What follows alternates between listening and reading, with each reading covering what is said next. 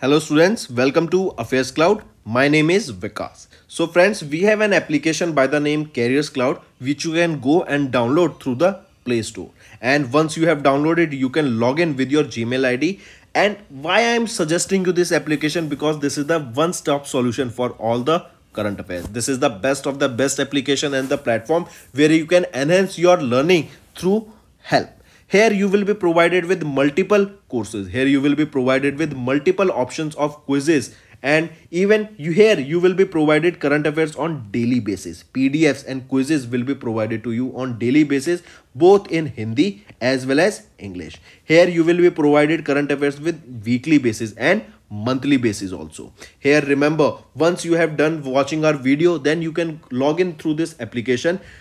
Take out the pdf read that pdf and go through the quizzes that will enhance your preparation. Same you have to do for weekly and same you have to do for the monthly also. In monthly you will be provided with the top 100 important questions pdf and video also that will enhance your learning and it will be a very benefit and beneficial and important video for the revision perspective. And not just this friends. Apart from this we also provide you banking and economic questions we provide you state current affairs such as of Uttarakhand, UP, Tripura, Telangana and many more. Not just this, apart from this, we also provide you topic-wise current affairs and the topics that we are providing you are really important. These topics are such as national affairs, international affairs, important days, sports, defense, science and technology, apps and web portals, obituary these are the important topics that are being asked in various exams across india. So these are the topics that are must and should be covered and will be beneficial for the preparation of the students. Hello everyone. So in this video we will be discussing important current affairs of 28th and 29th of january. The session will be quite interesting so do pay attention till the end. Let's start. First question is asia's largest event on civil aviation was held where recently. The name of this Asia's largest civil aviation event is Wings India. Right? Wings India 2024. This is Asia's largest civil aviation event. Now, location is being asked to you is that where was it held? It was held in Hyderabad, Telangana. Right? It was held where? In Hyderabad, Telangana correct. In hyderabad telangana too where was this held? This was held at begumpet airport. This begumpur begumpet airport is in hyderabad telangana. It was from 18 to 21st of january. We observed this. Wings india.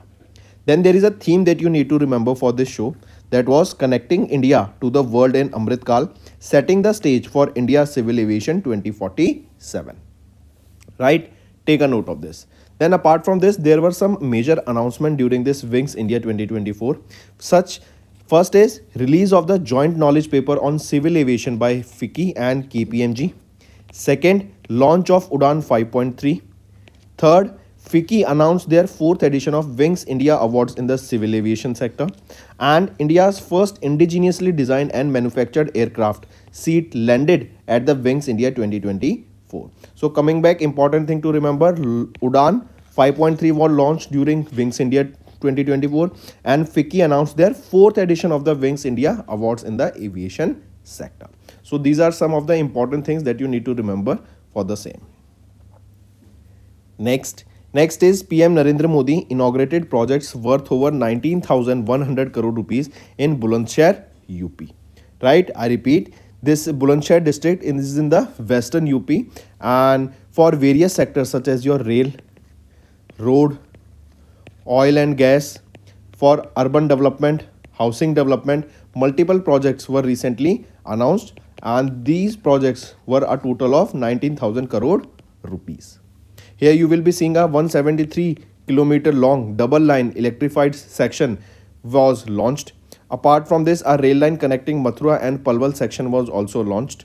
Right? Then Next thing remember, integrated industrial township at Greater Noida was also launched. I repeat, an integrated industrial township at Greno that is also known as Greater Noida was recently launched. Correct? mark this also and this particular industrial township in greater noida will be built at a cost of 1100 uh, 1714 crore rupees and it will be built on 747 acres of land right then apart from this pm narendra modi he renovated the mathura sewage scheme mathura sewage scheme was also recently renovated and in this particular mathura sewage scheme treatment plant worth 460 crore rupees will be built here. Correct? I repeat, in Mathura, a Mathura sewage scheme has been renovated and under this, new sewage treatment plants worth 460 crore rupees will be built. Moving on. Next is Ministry of Rural Development and Lady Irwin College in Delhi has renewed and signed an MOU for Roshni CWCSA for how many years?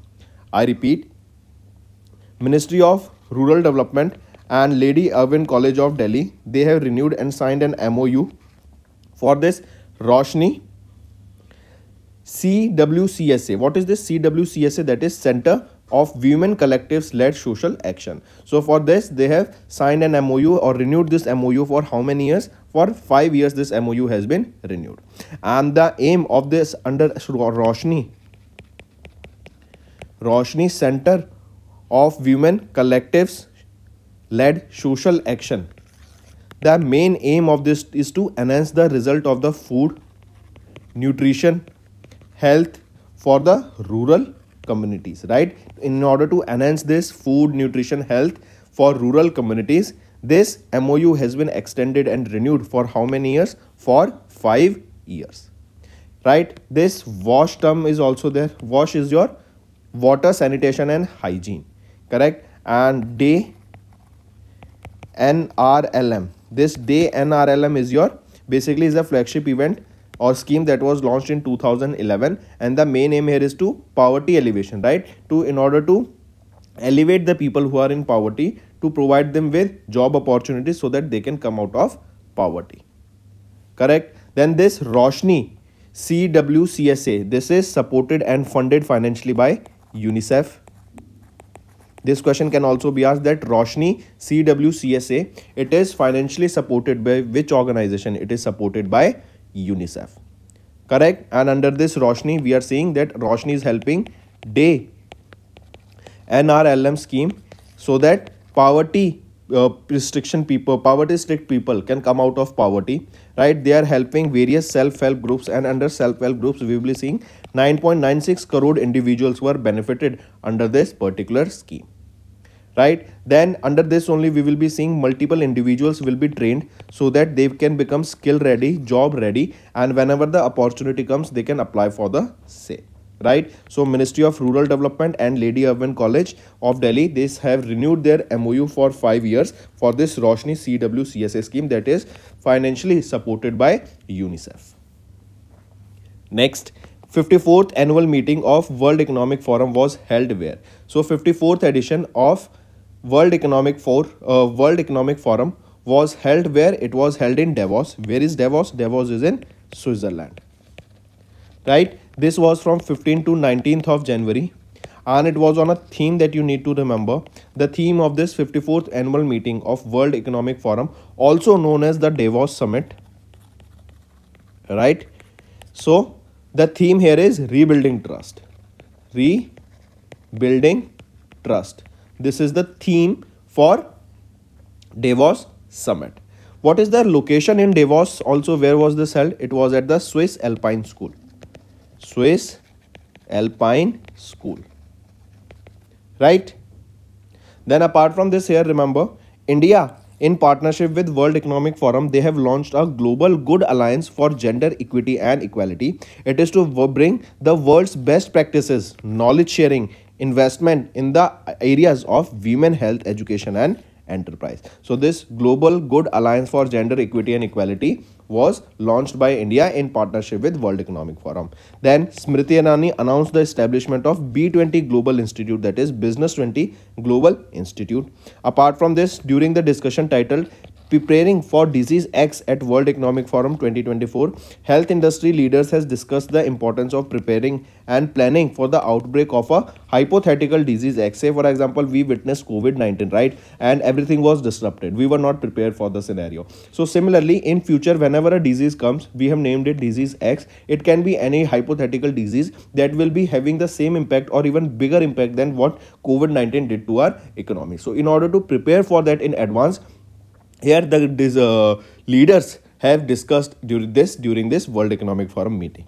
Then if we talk about world economic forum who is the founder and executive chairman professor klaus schwab managing director saadia zahidi headquarters in geneva switzerland and when was it established? In 1971 next. Next we are talking about banking and finance. Canara hsbc life insurance they have launched iSelect Guaranteed Future Plus. I repeat, Canara HSBC Life Insurance Company Limited launched iSelect Guaranteed Future Plus that is a non-linked, non-participating individual saving life insurance plan. The policy offers four different plans namely endowment option, regular income option, early income option and long-term income with returns of premium option. Right here you will be seeing if we talk about the plan, it offers regular income early income option long term income option right with return of premium option also. Apart from this the minimum entry age is zero. That is no entry minimum entry age. Maximum entry age is of 65 years of age. Minimum maturity is for 18 years. And maximum maturity here will be of 99 years. Right? Next. Next if we talk about canara hsbc life insurance company who is the managing director and chief executive officer here anuj Mathur. Where is the headquarter? It is in Gurugram, Haryana and it was established in 2008. Next is SEBI. They have extended the deadline for listed entities to verify the market rumors. Right? I repeat, recently SEBI, they extended the timeline for market rumor verification for the second time. The deadline were extended to June 1st, 2024 from February 1, 2024 for the top 100 companies and December 31st, 2024 from 1st of August from the top 250 companies. It earlier, as I said, it was supposed to be effective from 1st of October 2023 from for the top 100 firms and from 1st of April 2024 for the top 250 firm but this has been now extended correct now the deadline is 1st of June 2024 right? Earlier it was see for top 100 no? Just to give you a clarity earlier it was 1st of October 2023 then it was extended till 1st of Feb and now again it has been extended to 1st of June right? This is the extended deadline for listed entities to verify market rumors for the top 100 companies right then as per SEBI, top 100 and top 250 listed entities by market capitalization, they must promptly confirm, deny or clarify any specific material event reported into the media because we know and this report has to be submitted within 24 hours of the information being disclosed, right? There is a rumor in the market, right? It has to be verified by that particular organization within 24 hours because when there is a rumor in the market we have seen in the past many years that because of that rumor the markets either they take a new high or they start uh, gaining or if it is a bad news then the market collapses right? There is a huge downfall in the market of that particular stock. So this is basically sometimes even done by the various organizations also deliberately that there is a rumor in the market. On the basis of that rumor multiple individuals starts buying and selling stocks so to avoid that this step has been taken by the SEBI. Next. Here you can see initially it was supposed to be effective from 1st of October for top 10 firms from 1st of April for top 2 250 firms. This was extended to February and August respectively and again extended to here we saw. Now the date is for top 100 is June 1st 2024 right? Next next is which organization recently got approval from to operate as an online payment aggregator? From SEBI to operate as an online aggregator. From RBI not SEBI from RBI right? So which organization recently got approval from RBI to opt uh, to operate as an online payment aggregator? Online payment or we can say uh, this payment aggregator. What are the payment aggregators? Basically payment aggregators are those. They can collect money right? Say for example we are talking about paytm right? Paytm is an paytm uh, payment aggregator because we have seen that at multiple vendors across india that each individual shop or shop owners right they are having a barcode through which we do payments and they collect money right for insurances also for various other services also right? Similarly recently zomato was also granted by rbi as payment online payment aggregator right now they can collect money right? As now they have been granted the license to work as an online payment aggregator. And this will be with effect from 24th of january 2024 now the question will be asked to use recently which food delivery platform or which platform recently got a certificate or approval from RBI to act as an online payment aggregator. It is Zomato. Right? Take a note of this. Next thing, one more remember, this is Zomato, right? Apart from this, a California, USA based, a financial infrastructure provider, Stripe Incorporation they also received the RBI's approval to act as an online payment aggregator from 15th of January 2024. So Stripe also recently got the approval to act as an online payment aggregator. Right? They basically collects money, right? They receive money on the behalf of various organizations. Here you can see Zomato payment gets note from RBI. Notes means approval from RBI to operate as an online payment aggregator. Next, who has been honored with Freedom of the City of London award? So remember recently Indian lawyer Ajit Mishra, he has been honored with the Freedom of the City of London award. Correct? I repeat, Freedom of the City of London award and this was for his contribution to strengthen the business partnership between London and India. Right? For this, he was honored with Freedom of the City of London award correct and he was awarded with this in london only mark this if we talk about ajit mishra he's the founder and the chair of uk india legal partnership correct and he's a qualified as a solicitor in england and wales and also an advocate in india next he here you can see indian lawyer ajit mishra Next, which Indian cricketer was appointed as brand ambassador of Varney? Varney, this is a premium electronic product brand. This is a electronic product brand and who has been recently appointed as the brand ambassador of Varney. So, Ravindra Jadeja, right? He has been appointed as the brand ambassador of Varney that is a premium electronic product brand. Correct? Then Varney was founded in 2009, right? And now Ravindra Jadeja has been appointed as the brand ambassador of it. Next, next is science and tech. Indian Navy has tested the extended range version of the BrahMos missile, right? Recently, Indian Navy, they recently tested fired the BrahMos extended range missile. It was on 24th of January that this was tested. The test was in line with Atam Nirbhar Bharat initiative of the government of India. And remember, this BrahMos missile, it was a joint venture between India and Russia. And Philippines became the first company to procure BrahMos missiles from India. Correct? Next thing, remember BrahMos missile for the first time, it was tested in 2001 and now the extended range version of the BrahMos missile was tested as you can see here was tested by Indian Navy. Who is the chief of naval staff of Indian Navy? Admiral R. Hari Kumar. Next. One more thing remember if we talk as it is an extended range version the range of this BrahMos missile has been earlier to be around 290 kilometers and now it has been extended from 290 to almost 500 kilometers Next. Next is related to sports. Brisbane Heat cricket team has won the Australia's Big Bash League for 23-24 title. I repeat, Brisbane Heat, this is the name of the cricket team and they have won the Australia's Big Bash League that is BBL similar to that of an IPL in India. Correct? And it is for 23-24 title. They defeated sydney sixers in the finals that was held at the sydney cricket ground in sydney australia. Right? And the 13th edition of this bbl was witnessed. And this is brisbane heat cricket team that has won this australia's big bash league. And this was the 13th edition of this big bash league that was of australia. Next. Next is italy's top goal scorer Luigi Gigi Riva recently passed away. As you can see him in the picture, Luigi Riva recently passed away at the age of 79 in Sardinia, Italy. Correct? Next.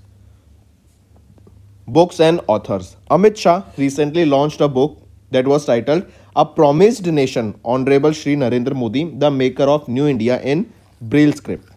Braille script is for the blind people right who have visual disability. For them this braille script is written and this book was launched by amit shah correct? And it is a book that is titled a promised nation honorable shri narendra modi the maker of new india. Mark this question this becomes important. The question can be asked what is the name of the book that was launched in a braille script right? And it was launched by amit shah. So this is the name of the book that you need to remember correct? And it is written in braille script that is important Next, next is important days. International Customs Day observed on 26th of January and it is to recognize the role of custom officials and agencies in maintaining border security and flow of goods across borders. So this is your International Customs Day observed on 24th of or uh, 26th of January.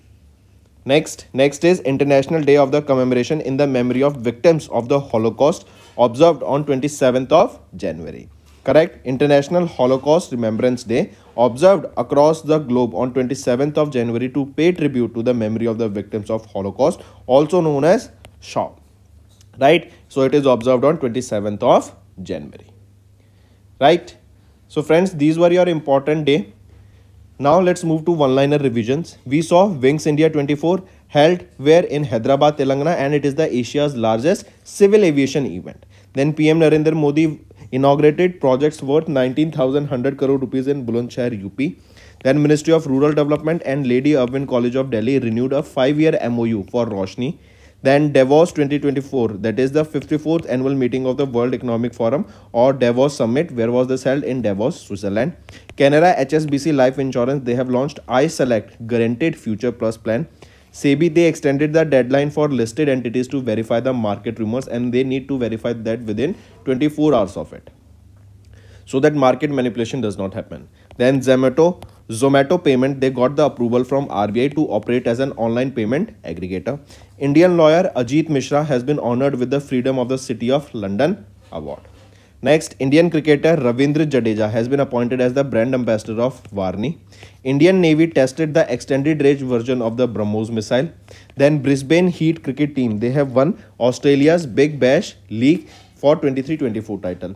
Then Italy topped the Italy's top scorer Luigi recently passed away. Then Amit Shah, and this is important, Amit Shah launched a book in Braille script and the name of the book is A Promised Nation, Honorable Sri Narendra Modi the maker of new india. This is the name of the book. Then international customs day on 26th of january. International day of commemoration in the memory of the victims of holocaust observed on 27th of january. So these are your important current affairs for the day friends. Do like the video and comment below and let us know what are your views for the same. Doing this will motivate me to make better content for you in the long run. And also friends do share the link of this video with your friends relatives cousins neighbors and let them know about this interesting platform affairs cloud where we'll do current affairs on daily basis right? And daily you are updated with the best of the knowledge. Now let's move to the revision part friends that will be beneficial for your learning. Next which of the following portal or foundation have recently signed a tripartite mou with national farmers welfare program implementation society to accelerate artificial intelligence driven transformation in the agriculture sector which are those institutions that is India AI and Wadhwani Foundation. They both recently signed an MOU along with whom? Along with NFW PIS so that the use of artificial intelligence, machine learning, IoT devices, sensor based learning, right? Then use of drones in the agriculture for spraying purpose can be enhanced and we can make our agriculture sector more advanced and more output can be generated from it. Next, Prime Minister Narendra Modi released six special commemorative postage stamps dedicated to the Sri Ram Janambhoomi temple in Dash. So, where is this Sri Ram Janambhoomi temple located? Indirectly, this is the question asked. It is in Ayodhya, and Prime Minister Narendra Modi released the special commemorative stamp for the same. And on this commemorative collection, it comprises of six different stamps. Right? Mark this also. So, six different stamps were launched. Next, According to statistics published by Future Industries Association in January, National Stock Exchange uh, National Stock Exchange of India Limited emerged as the world's largest derivative exchange in 2023 in terms of the number of contracts traded for the fifth consecutive year, right? So for the fifth consecutive year, NSE has emerged as the world's largest derivatives exchange in the terms of the numbers of contracts traded and it is for the fifth consecutive time right? Next. Which banks or which organization recently invested 486 crore rupees in sustainable energy infrastructure trust for india project meridian? Right? For india project meridian this project recently which bank or organization they contributed or they invested 486 crore rupees in this sustainable energy infrastructure trust bonds? Right which is that organization or which is that bank? It is asia infrastructure investment bank. They invested this amount. Next. Rbi's economic activity index has now now cast india's gdp growth rate at 7% for the third quarter of 23-24 that is from october 2023 till december 2023 right? That is 7.7 oh sorry 7% next right option option 1 next government of india they formed a high level committee under the chairmanship of dash to examine administrative measures aimed at protecting the interest of the most disadvantaged groups within scheduled caste like madigas so recently rajiv gauba right? Government of india they formed a high level committee and this committee was under the chairmanship of rajiv gauba and this committee will examine the measures for protecting the rights of the disadvantaged groups within the scheduled castes. Next, SpaceX rocket that is Falcon 9, they launched Axiom Space Axiom Mission 3 that is AX3 and this Axiom mission they carried Turkey's first astronaut Alper to the International Space Station. So Falcon 9 rocket was used to launch AX3 mission that is Axiom Space Mission 3 and it was carrying first astronaut this astronaut of was of Turkey and it was carried into International Space Station. Next, Dash became the second Indian man to win gold at the Asian Marathon Championship. Man Singh, right? He became second Indian to win gold at the Asian Marathon Championship. Correct? Who was the first Indian man? Gopi Thonakal was the first Indian to win Asian Marathon Championship in 2017. Next, name the company that recently awarded with the Southern Region's NARAKAS Official Language Award for 22-23. It is BDL. Bharat Dynamics Limited was recently awarded with the Southern Range NARAKAS Official Language Award for 22-23. Next, which country has recently elected as the first vice chair of the SCM of Food and Agriculture Organization of UN Committee on Fisheries. So which country is it? It is India. Has been elected as the first vice chair of the subcommittee on fisheries management of the FAO of UN Committee on Fisheries. It is India. And here India has been elected here for a term of two years. Correct. Then Indian delegation was led here by J. Balaji. Mark this also. Next, which state's Kutchi Kharek has recently got the GI tag from the GI registry? It is Gujarat.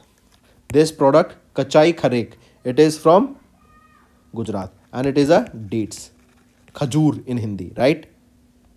Next, which IIT, which IIM, which Indian Institute of Management recently collaborated with the Strategy Perspective Planning and Monitoring Committee of the ICAI to develop ICAI Vision 2049. So indirectly we can say this ICAI Vision 2049 this was developed by which organization? So it was developed by IIM Ahmedabad correct and they collaborated with this Strategic Perspective Planning and Monitoring Committee of ICAI to develop this ICAI Vision 2047.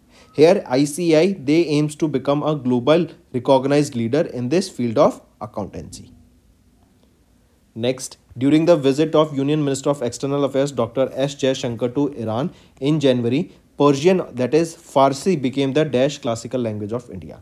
Remember Farsi became the ninth classical language of India. Next, classical languages are in the 8th schedule also. Mark this also. Next, in January, Dash became the first Indian bank to execute an export finance transaction on the International Trade Financing Service platform of RXIL Global IFSC Limited. It is Yes Bank. Right? It became the first Indian bank to execute an export finance transaction on the ITFS of RXIL Global IFSC Limited. Next. In January, chairperson of SEBI, Madhabi Puri Buch, has launched two unique multilingual initiatives that are named Multilingual CAS and Buddy Sahayata 2047 chatbot for Dash organization. Right? It was for whom? This was for, tell me the name, Central Depository India Service Limited. Right? Launched by Madhabi Puri Buch. Correct? And these initiatives will basically aim to promote the ease of doing business among investors. Here report in this multilingual CES consolidated statement will provided in multiple languages. And under this buddy sahayata 24/7 chatbot it is a chatbot that will be solving your problems. It will be a basically a AI customer based right? You will be helped with various services and platforms with customer services. Next Name the new individual saving deferred annuity plan that has recently launched by the LIC. Which is it? What is the name of that plan that was launched by LIC? Deferred annuity pension plan. The name here is Jeevan Dhara 2 plan 872. This was launched. And this plan will be available for sale from 22nd of January 2024. Next, President of India Draupadi Murmu ma'am conferred with the Pradhan Mantri Rashtriya Bal Puraskar 2024 to how many children? So a total of 19 children were awarded or conferred with Pradhan Mantri Rashtriya Bal Puraskar 2024. From these 19, 9 boys and 10 girls were awarded. Next, who has been recently appointed as the Director General of Shastra Seema Bal? Daljit Singh Chaudhary has been appointed as the Director General of Shastra Seema Bal. Correct? And he will succeed whom? Rashmi Shukla. Next, Japan's aerospace exploration agency that is JAXA, they successfully landed the smart lander for investigating moon that is SLIM on the lunar surface. With this, Japan became the fifth nation to soft land on the surface of moon right? And JAXA is the space agency of Japan. Similar India ISRO is the space agency of India. So fifth. Next which country has recently launched Soraya satellite using a three stage solid fuel Qaem 100 satellite carrier? So this was launched by whom? It was launched by Iran. A Soraya satellite right? Soraya satellite. It is a satellite launched by Iran. Correct? Next Lockton announced its entry into the Indian market with the appointment of Dash as the CEO of India and a member of Lockton Asia leadership team. So who has been appointed as the CEO of India and member of Lockton Asia leadership team? He will be Sandeep Dadia. Correct? With this, Lockton has announced their entry into India. Correct? And this Lockton basically what is it? It is a independent insurance brokerage firm. Next, who has recently been appointed as the CEO and whole-time director of Jindal Stainless Steel. Tarun Khulbe has been appointed as the CEO and whole-time director of Jindal Stainless Steel Limited. Next is our homework section. First, Finances of Panchayati Raj Institutions report recently seen in news was released by which institution? Second, where was the 44th All India Criminology Conference of the National Forensic Science University held?